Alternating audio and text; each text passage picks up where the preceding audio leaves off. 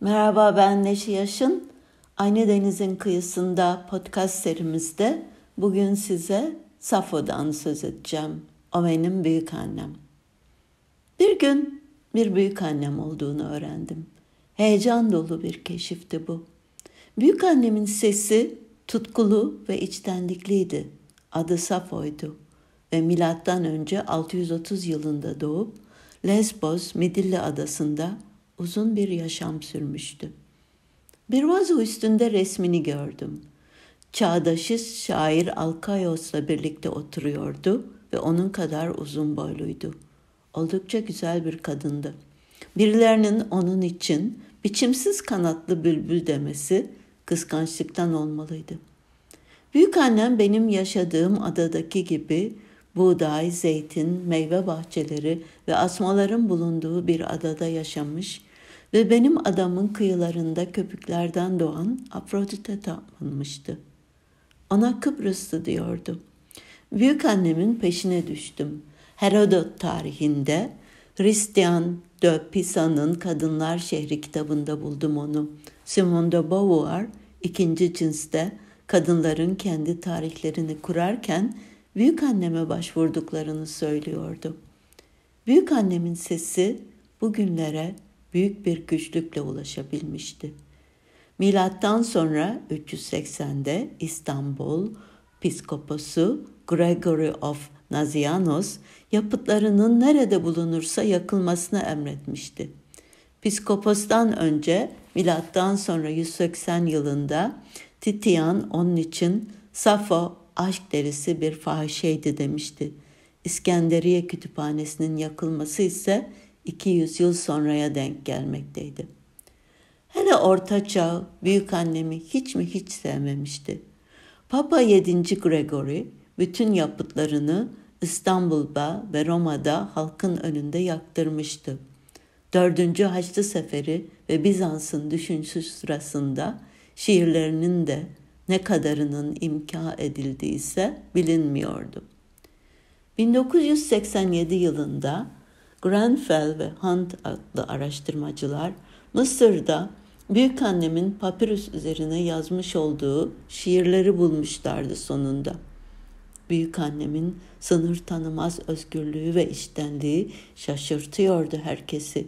Büyülü sözcüklerde iş dünyasını bütün çıplaklığıyla aktarıyordu.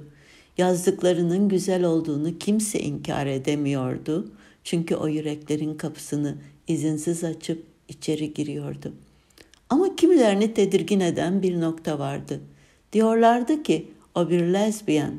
Büyük annemin cinsel kimliği yargılanmasına neden oluyordu.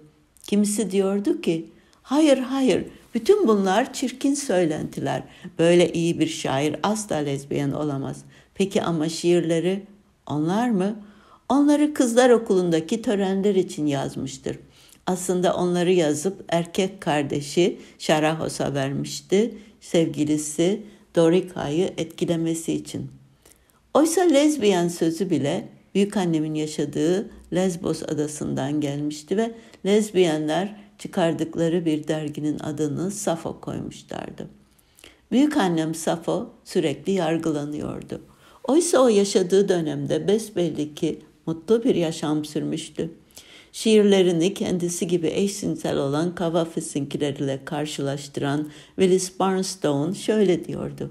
Safo ile Kavafis aynı dünyada yaşıyor gibi görünüyorlarsa da tensel zevkin anısı, anların büyük coşkusu ve eşcinsel aşk yaşantısında toplumsal ve kültürel dönemleri nedeniyle Safo'nun izole, kendi kendine yeterli ve hoşgörülü dostlar çevresi ve Kavafis'in anlık onay görmeyen ilişkilerindeki aşk deneyimi radikal biçimde farklıydı. Büyük annem Safo ihtiraslarını ve kıskançlıklarına bile büyük bir doğallık ve içtenlikle yazmıştı. İş dünyası duru bir göl gibi pırıl pırıldı. O birey olmayı başarabilmiş ilk kadınlardandı. Alevli bir tutku, güçlü bir yalınlıkla kendi dünyasından söz ediyordu. Gündelik dertlerle, savaş, politika ve sayısız işlerle meşgul, erkek dünyasının dışındaydı. Yıldızlardan, meyve bahçelerinden, aşk deneyiminden ve kendinden söz etmekteydi. Söyledikleri hep sahici şeylerdi. Konuşur gibi yazıyordu.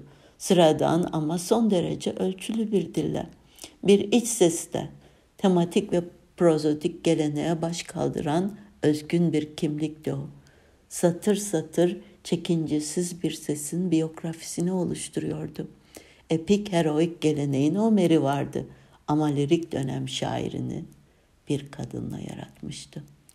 Büyük annem bir su akışıyla konuşmakta, gülmekte, dalga geçmekte ve hep sahici şeyler söylemekteydi. Büyük annem Safo besbelli ki sınıfsal statüsünden ötürü kadın olduğu için ayrımcılıkla karşılaşmamıştı. Yeğeni Şulamite'nin aksine erkek cinsine karşı bir isyandan söz etmemişti. Aristo onun için kadın olmasına rağmen iyi şairdi demişti. Hakkında bunun gibi çok şey söylenmişti. Bunlar arasında olası gerçekler, çelişkiler, dedikodu ve mitler vardı. Sokrates güzel Safo diye söz etmişti ondan. Bir de kara efsane vardı onun hakkında. Güya kayıkçı fauna tutulmuş ve kendini tepeden atmıştı. Bence hala yaşıyor. Ah büyük annem ah. Ve bir şiiri büyük annemin o bir kahramandan ötesi. Benim gözümde bir tanrı o. Yanında oturmasına izin verilen adam. Sesinin tatlı mırıltısını dinliyor mahreminde o fettan gülüşünü hızla kalbime attıran. Karşıma çıkarsan birden konuşamam dilim tutulur bir ince alev dolanır tenimi. Göremem hiçbir şeycik. Tınısını işitirim yalnızca kendi kulaklarımın. Ter içinde kalırım, ürpertiyle sarsılır gövdem. Ve daha bile solgunken kuru otlardan, ölüm hiç uzak değil bana böyle anlarda. Evet, büyük annem Safo'nun bir şiiriydi. Benim çevirdiğim bir şiiri.